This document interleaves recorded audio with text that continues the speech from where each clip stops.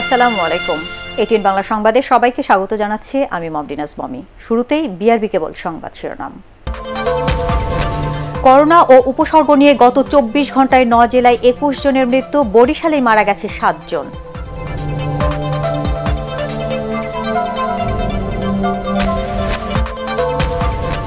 চট্টগ্রামে করোনা ভাইরাসের নমুনা পরীক্ষার ফল পেতে সময় লাগছে সাত থেকে দশ দিন। সংক্রমণের ঝুঁকি বাড়ছে কয়েক গুণ, বলছেন বিশেষজ্ঞরা।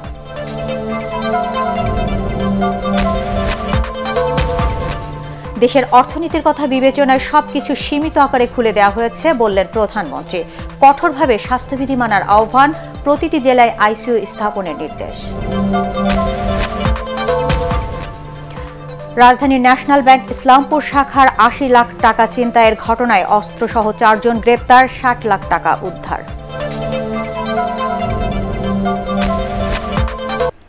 শুনছিলেন বিআরবি কেবল সংবাদ শিরোনাম। এবার বিস্তারিত। করোনা ভাইরাসের কারণে দেশের বিভিন্ন জেলায় গত চব্বিশ ঘন্টায় মারা গেছে মোট একুশ জন। এর মধ্যে বরিশাল শেরেবাংলা মেডিকেল কলেজ হাসপাতালেই মারা গেছে সাতজন করোনা হটস্পট হিসেবে পরিচিত নারায়ণগঞ্জে মারা গেছে আরও তিনজন তাছাড়া চট্টগ্রাম, খুলনা ও নোয়াখালীতে দুজন করে মারা যান। আর আক্রান্ত হয়েছে অসংখ্য মানুষ। প্রতিনিধিদের তথ্যচিত্র নিয়ে রিপোর্ট করছেন পরাগারমান দিনকে দিন দ্রুত গতিতে বেড়ে চলেছে করোনা ভাইরাসের সংক্রমণ। বাড়ছে আক্রান্ত আর মৃতের সংখ্যা। বরিশাল শেরেবাংলা মেডিকেল কলেজ হাসপাতালে চব্বিশ ঘন্টায় মারা গেছে সাতজন। কেবল তিনজনের করোনা নিশ্চিত, বাকি চারজন মারা যায় করোনা উপসর্গ নিয়ে। এছাড়া বরিশাল বিভাগে নতুন করে করোনায় আক্রান্ত হয়েছে সতেরো পুলিশ, এক ডাক্তার, দুই নার্স সহ ছাপ্পান্ন জন।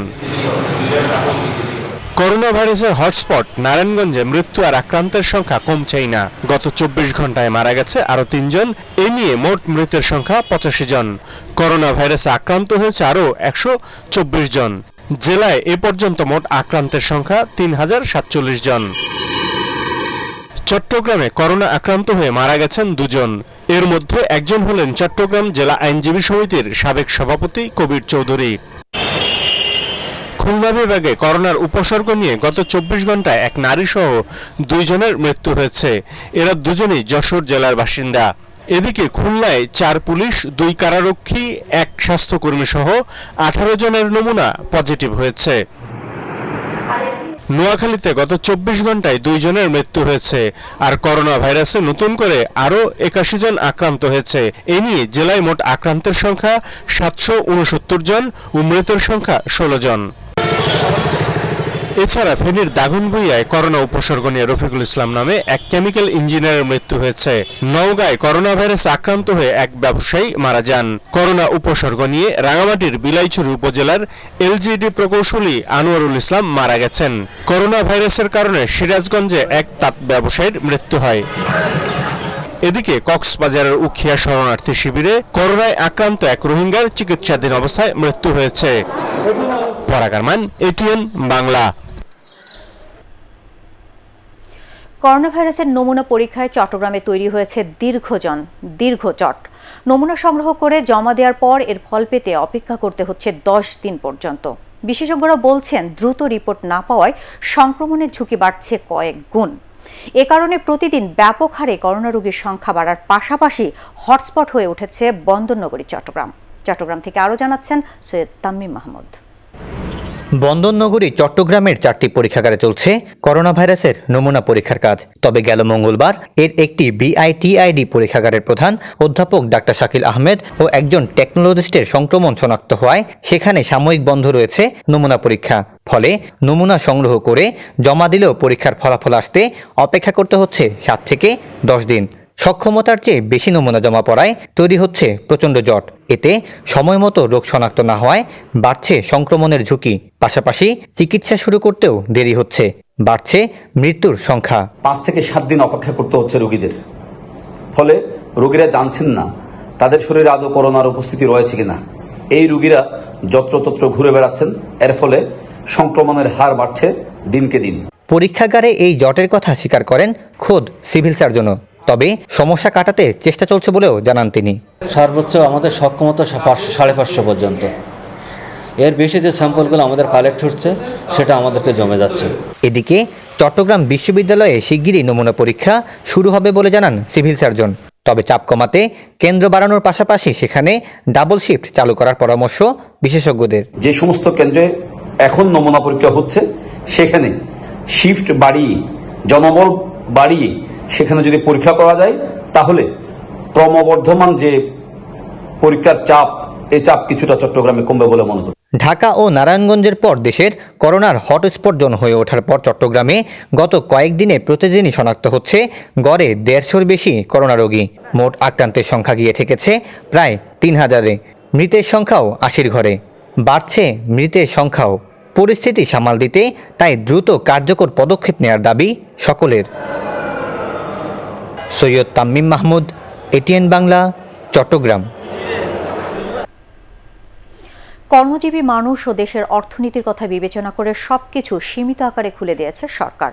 কথা জানিয়েছেন প্রধানমন্ত্রী শেখ হাসিনা। সবাইকে কঠোরভাবে স্বাস্থ্যবিধি মেনে চলার আহ্বান জানান তিনি। প্রতিটি জেলায় আইসিইউ স্থাপনেরও নির্দেশ দেন প্রধানমন্ত্রী। জাতীয় অর্থনৈতিক পরিষদের নির্বাহী কমিটি একনেকের প্রথম ভার্চুয়াল সভায় প্রধানমন্ত্রী এই নির্দেশনা দেন। তিনি আরও বলেন, মুজিব বর্ষের মধ্যেই দারিদ্র্যসীমা কমিয়ে আনার লক্ষ্যেও নির্ধারণ করা হয়েছিল। কিন্তু কোভিড নাইন্টিন পরিস্থিতির কারণে অর্থনীতির গতি কিছুটা থমকে গেছে। বিশ্বের অর্থনীতিও এই অবস্থার মধ্য দিয়ে যাচ্ছে। এই প্রতিবন্ধকতা বেশি দিন থাকবে না বলেও আশা ব্যক্ত করেন প্রধানমন্ত্রী সভায় ষোলো হাজার দুইশো ছিয়াত্তর কোটি টাকার দশটি প্রকল্প অনুমোদন দেয় একনেক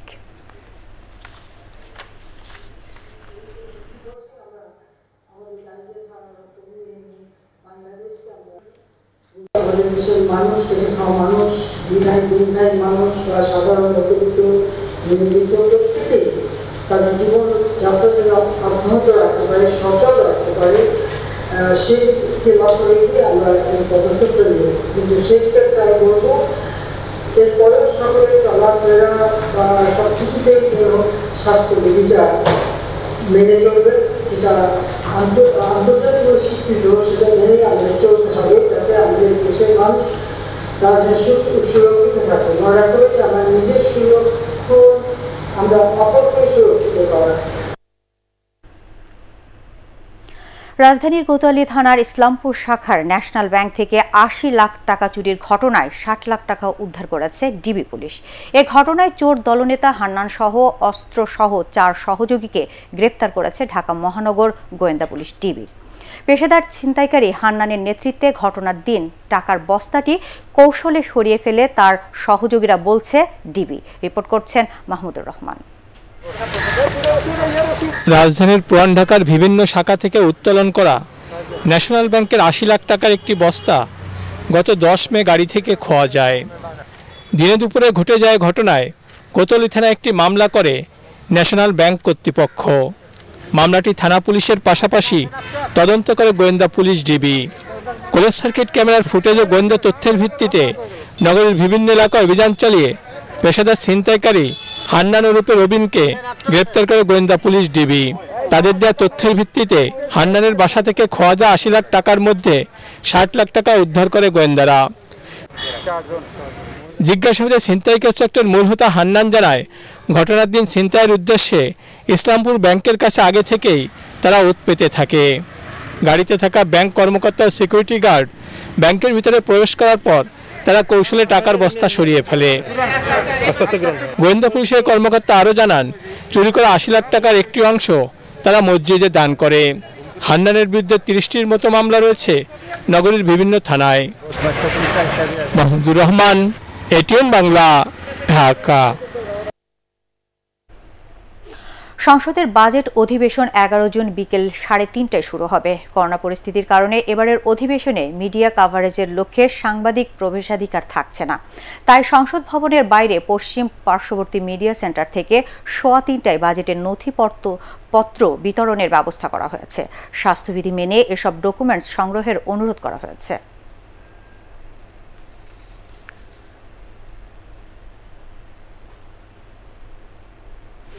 করোনা ভাইরাস সংক্রমণ রোধে সরকার সব ধরনের কার্যকর ব্যবস্থা গ্রহণ করলেও বিএনপি নেতাদের পর্দার কারণে তা দেখতে পাচ্ছে না বলে মন্তব্য করেছেন আওয়ামী লীগ সাধারণ সম্পাদক ওবায়দুল কাদের। এজন্য চোখের সামনে পর্দা সরিয়ে ফেলার আহ্বান জানান তিনি। রাজধানীর বাসভবন থেকে সচিবালয়ে সরকারি কর্মকর্তাদের সাথে ভিডিও কনফারেন্সে আলোচনাকারে সাংবাদিকদের প্রশ্নের জবাবে কাদের এসব কথা বলেন। এ সময় আগামীতে বাসে যাত্রী সংখ্যা বাড়লেও নিয়ম মেনে যাত্রী পরিবহন ও ভাড়া নিতে মালিক শ্রমিকদের প্রতি আহ্বান জানান তিনি। একটি দল সংক্রমণের শুরু থেকে একই বক্তব্য দিয়ে আসছেন। অনবরত সমালোচনার ভাঙ্গা রেকর্ড বাজাচ্ছে বিএনপি। অন্ধ সমালোচনা নেতিবাচকতা আর মিথ্যাচারে বৃত্ত থেকে তারা বেরোতে পারছে না। প্রাণঘাতী করোনা বদলে দিচ্ছে বিশ্ব, বদলে দিচ্ছে পরিবেশ, শিষ্টাচার।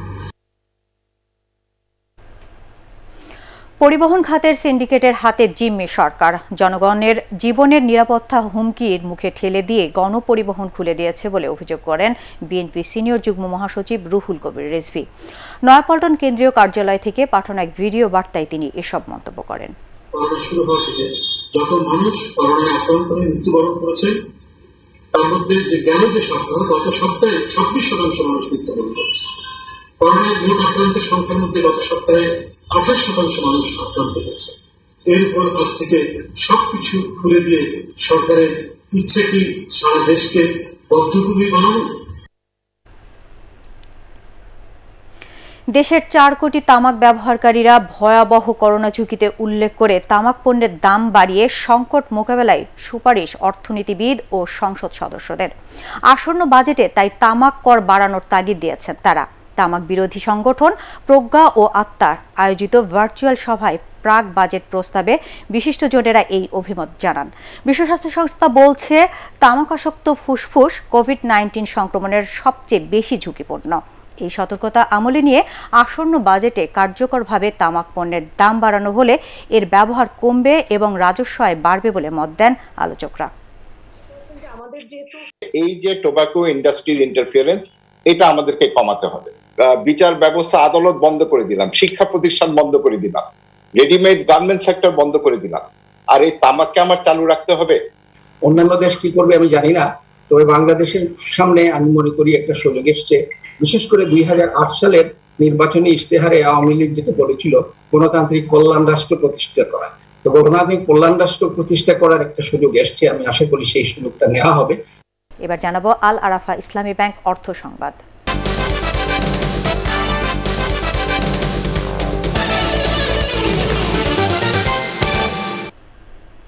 দীর্ঘ আড়াই মাস পর সাতক্ষীরা ভোমরা স্থলবন্দর দিয়ে আবারও শুরু হয়েছে আমদানি রপ্তানি কার্যক্রম। ভোমরা সিএনএফ এজেন্ট অ্যাসোসিয়েশনের সভাপতি আরাফাত হোসেন জানান, বৈশ্বিক মহামারী করোনার কারণে উভয় দেশ লকডাউন ঘোষণা করায় গত চব্বিশ মার্চ থেকে এই বন্দর দিয়ে সকল প্রকার আমদানি রপ্তানি কার্যক্রম বন্ধ হয়ে যায়। গতকাল জেলা প্রশাসক এস এম মোস্তফা কামালের সাথে কাস্টমস ও বন্দর কর্তৃপক্ষ সহ সিএনএফ কর্মকর্তাদের বৈঠকের পর স্বাস্থ্যবিধি মেনে বন্দর চালুর সিদ্ধান্ত নেওয়া হয়। আমদানি রপ্তানি শুরু হওয়ায় কর্মহীন শ্রমিক কর্মচারী সহ ব্যবসায়ীদের মধ্যে স্বস্তি ফিরে এসেছে। এবার আন্তর্জাতিক সংবাদ।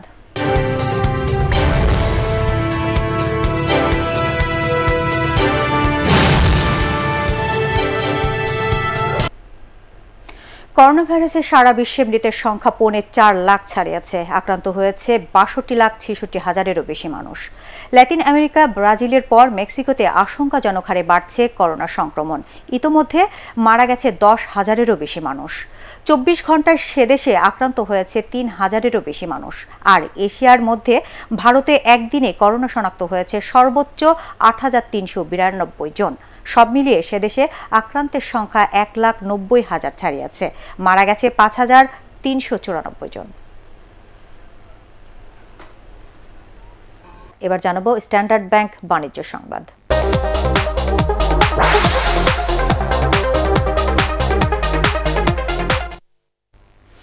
ঠাকুরগাঁয়ে অনুষ্ঠিত হলো ধান খেতে সমন্বিত আগাছা ব্যবস্থাপনা বিষয়ক কৃষক মাঠ দিবস।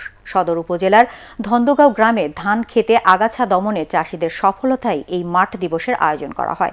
কৃষকরা জানান, প্রচলিত পদ্ধতিতে তেত্রিশ শতাংশ জমির আগাছা দমনে দু হাজার টাকা ব্যয় হয় আর আগাছানাচক গ্রানাইট ব্যবহারে খরচ হয় মাত্র দুশো টাকা। এতে ধান চাষাবাদে খরচ কমে আসছে। উপজেলা কৃষি কর্মকর্তা কৃষ্ণ রায় ও কৃষিবিদ এস এম শফির সহ কৃষকরা অনুষ্ঠানে উপস্থিত ছিলেন। এবার পার্টেক্স খেলার খবর।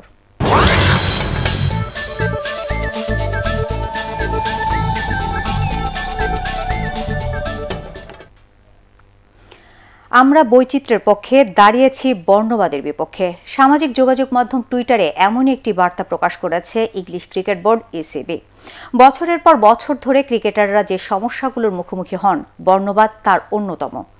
এই বার্তায় ইসিবি স্পষ্ট করে জানিয়েছে যে তারা পুরোপুরি বর্ণবাদের বিরুদ্ধে এবং তারা বৈচিত্র্যে বিশ্বাসী।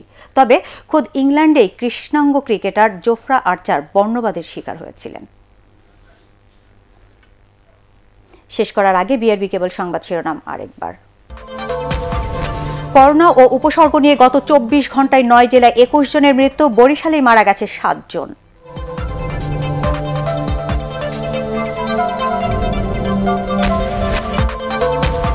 চট্টগ্রামে করোনা ভাইরাসের নমুনা পরীক্ষায় ফল পেতে সময় লাগছে সাত থেকে দশ দিন, সংক্রমণের ঝুঁকি বাড়ছে কয়েক গুণ, বলছেন বিশেষজ্ঞরা।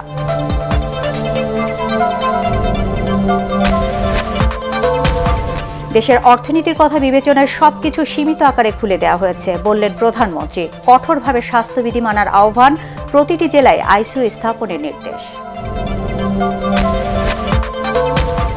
রাজধানী ন্যাশনাল ব্যাংক ইসলামপুর শাখায় আশি লাখ টাকা ছিনতাইয়ের ঘটনায় অস্ত্রসহ চারজন গ্রেপ্তার, ষাট লাখ টাকা উদ্ধার।